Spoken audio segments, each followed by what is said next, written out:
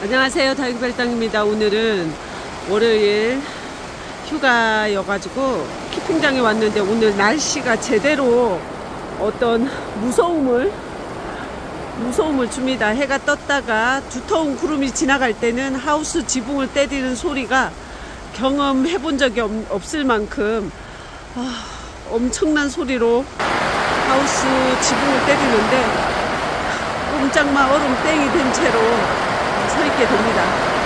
무서운 날인데 이런 날 별 탈이 없어야 되는데 별일이 없으시길 응원하면서요.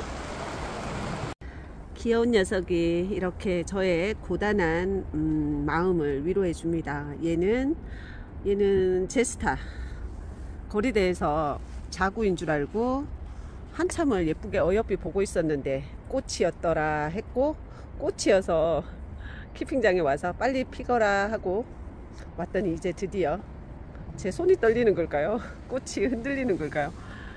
예쁘게 지금 개화를 해주고 있습니다. 제 손이 떨렸네요. 오늘은 키핑장이 아주 우르, 우르르 쾅쾅 비가 막 하우스 지붕을 억수같이 때리고 그러면 다육이를 돌보는 손길이 얼음이 되었다가 그 우르르 쾅쾅 소리 속에서도 또 계속 약도 주고 위치 변경도 하고 자리 정리도 해가면서 다육이랑 놀았습니다. 돌봐도 돌봐도 끝이 없고 일해도 일해도 보상이 있는 것 같지 않은 그렇지만 살짝 자리 이동하고 화분 깔별로 이렇게 맞춰 보니까 또 새로운 맛이 나죠. 사각 어, 긴 화분들로 자리를 매칭해 주었는데요. 어, 요 친구는 라온이고요. 썬다님이 선물로 주셨었는데 아직 이쁘게 잘 빛깔도 잘 물어주고 있고요.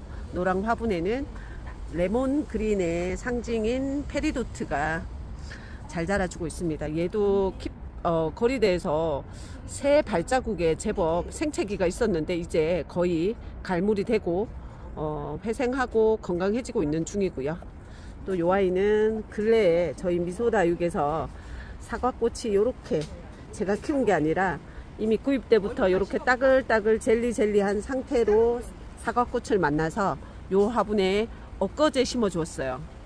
합이 잘 어울리는 것 같아서 이렇게 이어주니까 예쁩니다. 요 아이는 청키고 청키도 거리대에서 데려왔어요.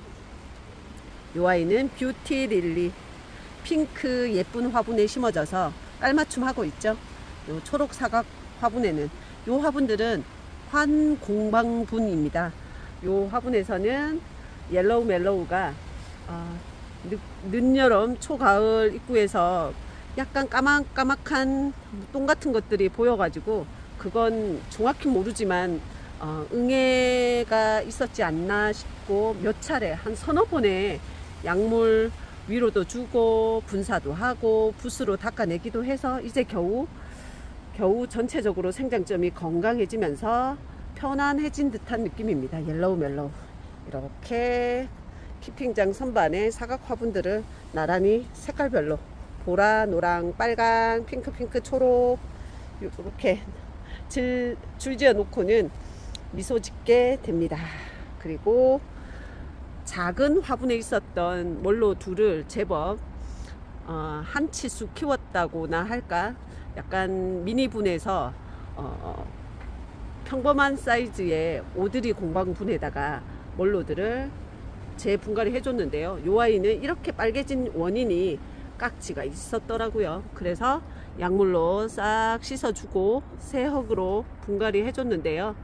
건강해져서 이 색깔을 빼더라도 뿌리 새뿌리 내리면서 다시 이런 느낌으로 돌아와도 좋으니까 건강만 해지라 하고 바래보고 바래봅니다. 멀로가 어, 몸을 좀 키운 멀로도 저는 이뻐서 키우려고 상토를 조금 더 투입한 것 같기도 하고 화분을 키워줬습니다.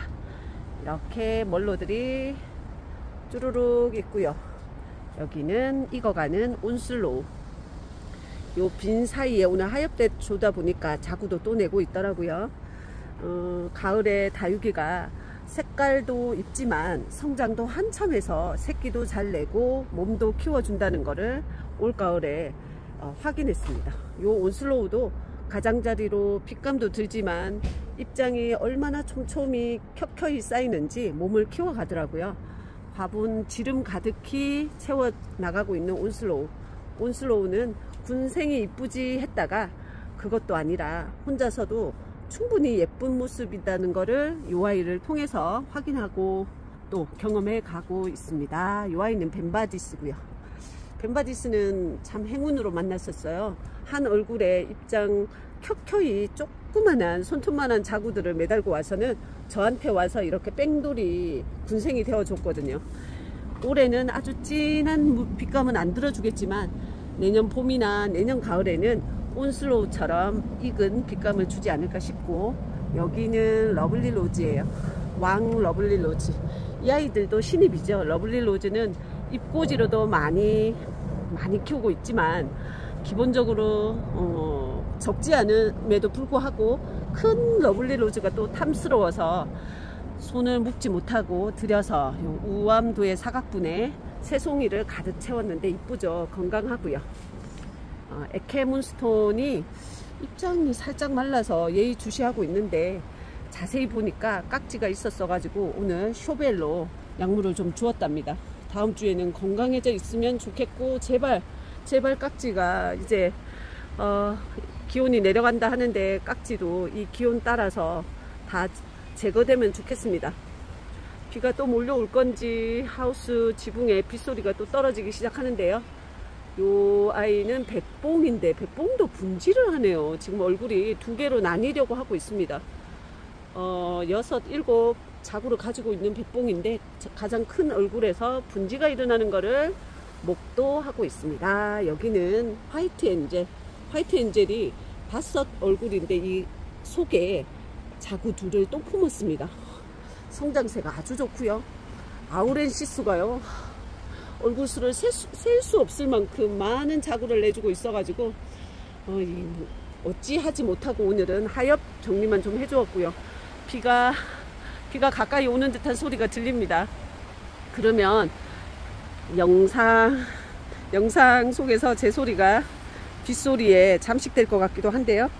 요 삽목판 안에 빨강 토분에 다육이들을 담아서 요 보는 재미를 보려고 한꺼번에 모아봤고요. 루밍입니다. 그리고 입구지판에서 겨우겨우 크고 있었던 희성을 이렇게 심어줬고요. 아카펠라 금 벤바디스 얼굴 하나도 이 삽목판 안에서 이렇게 크고 있습니다. 빨간 토분을 이렇게 모아서 미니분으로 콩분으로 보면 요거 자체로도 보는 재미가 있는 것 같아요. 이렇게 얄궂은 날씨 속에서 키핑장에서 보낸 시간이 평, 평안? 무념무상. 그냥 오로지 다육이가 음, 머리 전체를 가슴 전체를 채워주면서 음, 편안했노라 힐링했노라 하면서 눈에 담고 카메라에 담고 놀다 갑니다. 날씨가 요상했지만 다들 별일 없기를 응원하면서요. 비 옵니다. 마무리하고 또 다음 영, 다른 영상으로 또 봬요.